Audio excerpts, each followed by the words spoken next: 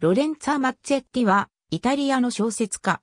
自らの悲劇的な幼少期をベースにした、1961年出版の小説、二人のトスカーナで知られる。1950年代、英国ロンドンの映画運動、フリーシネマの創始者の一人として知られる映画作家でもある。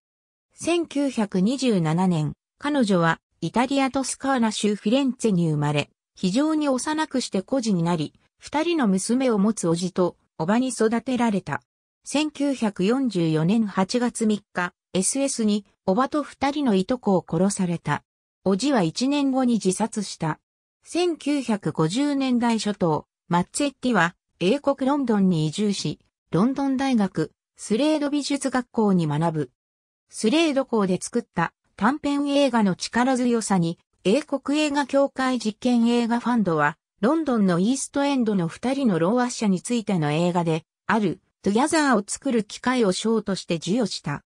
カレル・ライスとトニー・リチャードソンの共同監督作、モンマ・ドント・アラウとリンゼー・アンダーソン監督のオー・ドリームランドと共に、最初のフリーシネマの一部として、1956年2月5日、国立映画劇場で上映された後、3作すべてが同年の第9回カンヌ国際映画祭で上映されることとなった。マッツェッティは1959年にローマに移住、そこでもイタリア放送協会のためにテレビ番組を作り続けた。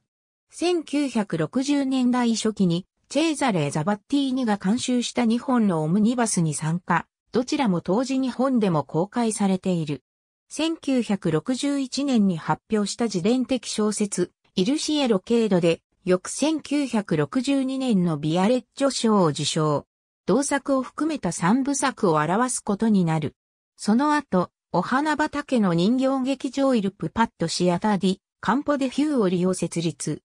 2020年1月4日、ローマにおいて死去した。92歳没。原作監督アンドレアアントニオ・フラッツィ、出演イザベラ・ロッセリーに、ジェローン・クラッペ2001年ベルリン国際映画祭、ドイツ児童救済週刊部門特別賞。ありがとうございます。